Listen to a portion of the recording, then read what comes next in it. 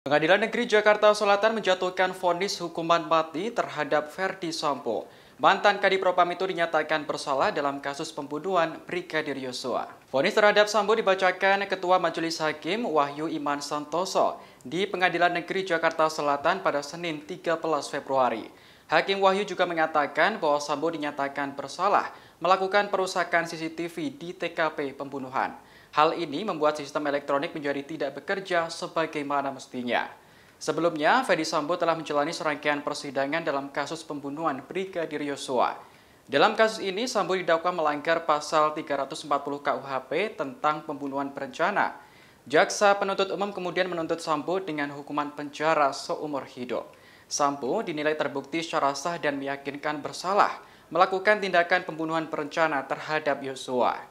Selain Sambo, pihak yang juga terlibat dalam pembunuhan ini adalah Putri Chandrawati, Ricky Rizal, Richard Eliezer, dan Kuat Ma'ruf. Mengadili, menyatakan terdakwa Ferdi Sambo SH MH telah terbukti secara sah dan meyakinkan bersalah melakukan tindak pidana turut serta melakukan pembunuhan berencana dan tanpa hak melakukan tindakan yang berakibat sistem elektronik tidak bekerja sebagaimana mestinya yang dilakukan secara bersama-sama.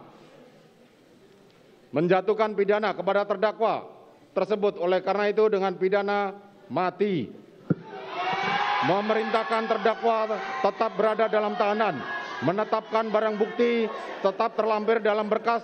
Dikembalikan kepada penuntut umum untuk digunakan dalam perkara lain. Menetapkan terdakwa tetap berada dalam tahanan.